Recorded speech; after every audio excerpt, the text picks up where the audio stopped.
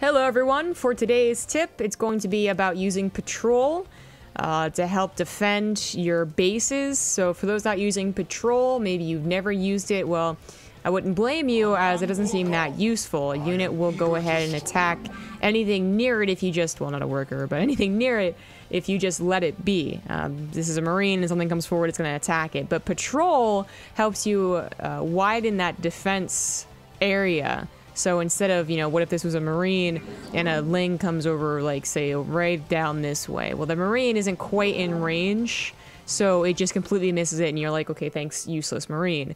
Um, patrol is going to be able to help you, especially when it comes to scouting a large area and patrolling a large area, literally patrolling something um, that you don't just want to keep your eyes on 100% of the time, ready to move that single Marine or single Phoenix or whatever. So patrol is uh, hotkey P. Uh, that's another reason why it's not used too often is on the other side of the keyboard.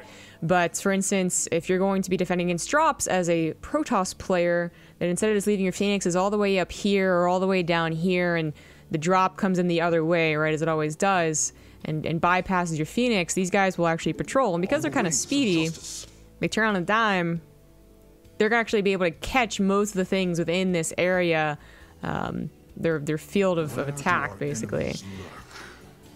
This is just going to make your life easier. Uh, again, for scouting, when you have that probe or, or uh, zealot or something patrolling over here, it'll see the Ling run by and actually do something about it as opposed to just see it and not alert you. Drops are especially useful when you have phoenixes or vikings or anything really. Uh, it will be able to got like cover more space basically, which is always nice. So patrol, not too often used in the heat of battle, but when you want to just let something go, when you want to let something be, but still feel protected, patrol helps you out a little bit more.